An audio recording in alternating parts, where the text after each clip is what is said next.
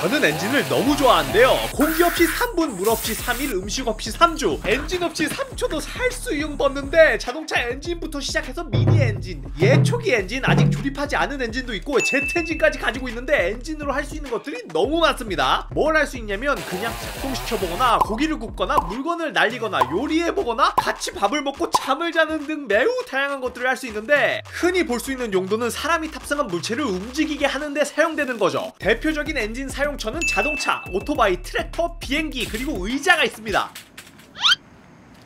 이게 말이 안 된다고 생각할 수 있는데 의자가 사실 엔진으로 움직이진 않지만 각종 엔진이 장착된 탈것 안에 의자가 있고 의자에 사람이 앉아가기 때문에 넓은 의미에서 의자도 엔진으로 움직인다고 볼 수 있습니다. 그런데 의자를 둘러싸고 있는 이 포장지들을 다 제외하고 엔진이 의자만 움직이게 한다면 커다란 부피와 무게에서 해방되어 더 효율적으로 움직일 수 있을 것 같아서 엔진으로 의자를 움직이게 만들어보죠.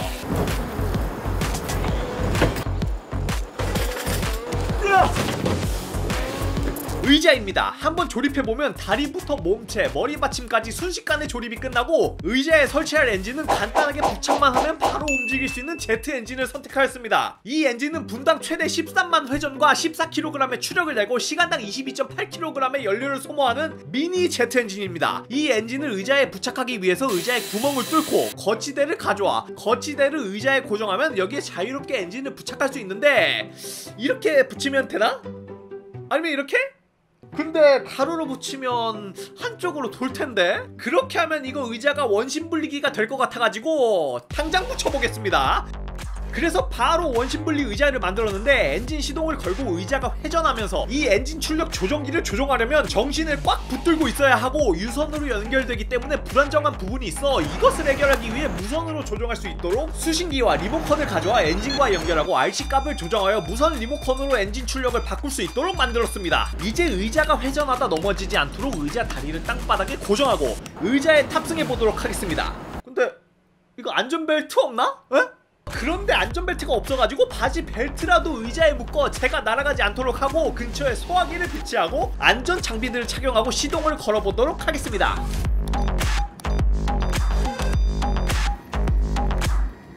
엔진이 시동되어 예열부터 공회전 단계까지 시간이 조금 필요한데 이 짧은 시간 동안 현재 앉아있는 의자에 대해 소개하겠습니다.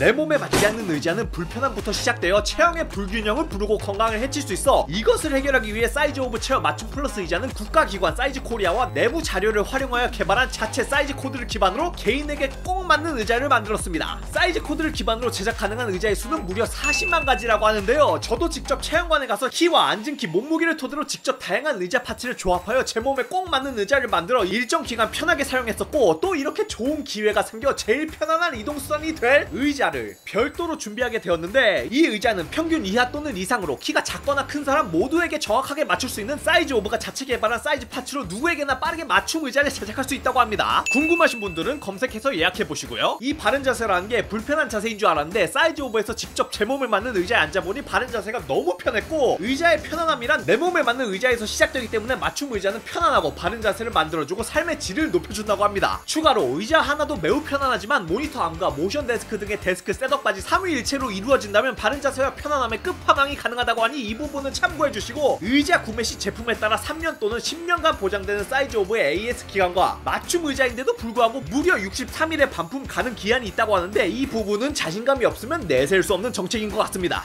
의자는 역시 바른 자세의 편안함 사이즈로부터 사이즈 오브 맞춤 플러스 의자 많은 관심 부탁드리고요. 이제 회전 의자를 작동해 보도록 하겠습니다. 으악! 너무 편해!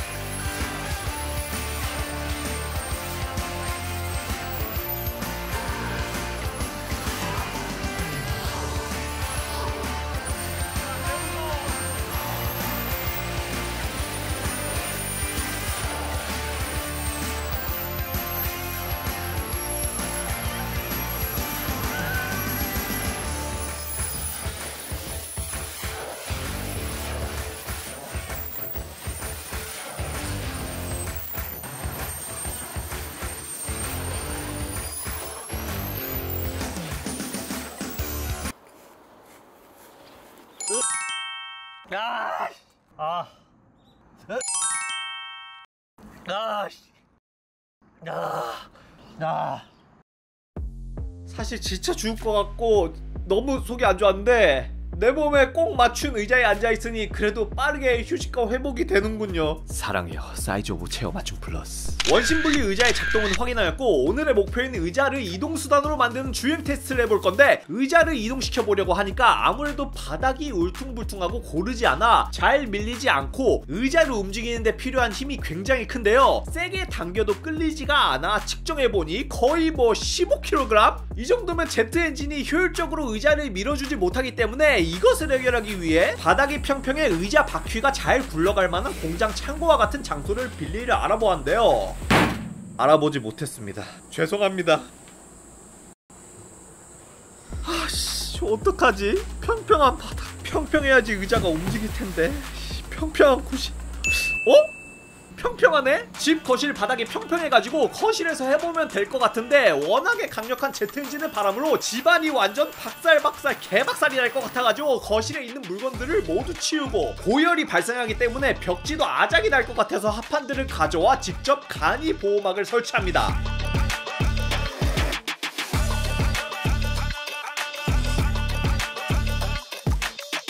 그리고 합판들이 날아가지 않게 살짝 고정해주는 작업도 했고요. 추가로 엔진이 작동할 때 연기가 콘서트 연기 장치 수준으로 나서 환기가 잘 되도록 문을 개방하고 강력한 환기가 필요할 것 같아 60kg이 넘는 초초초대형 선풍기를 준비해 직접 조립, 설치하고 공기를 뿜어내도록 해놨습니다. 이거 빨아들이는 힘이 슬리퍼가 붙는 정도라 환기도 잘 될 것 같고 이제 의자를 거실에 가져와 엔진을 미는 방향으로 설치합니다.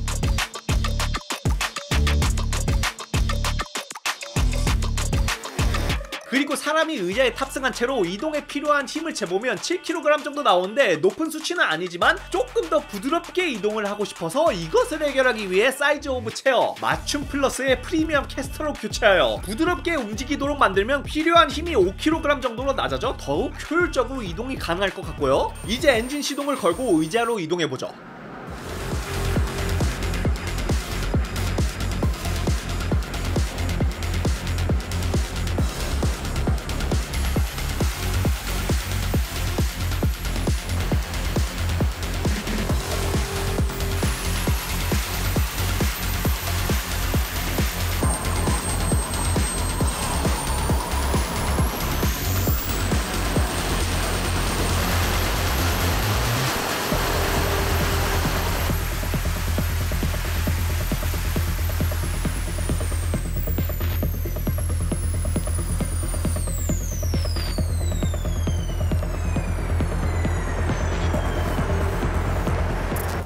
어차피 모든 이동수단에 의자가 장착되어 사람이 의자에 앉아 이동하는데 그냥 의자를 달리게 만들면 어떨까 궁금해서 직접 의자에 제트 엔진을 달아서 달려보았는데 내 몸에 꼭 맞춘 사이즈 오브의 맞춤 플러스 의자로 편안하게 이동할 수 있었고 살면서 타본 이동수단 의자 중에서 제일 편했으니까 여러분들도 한번 사용해보세요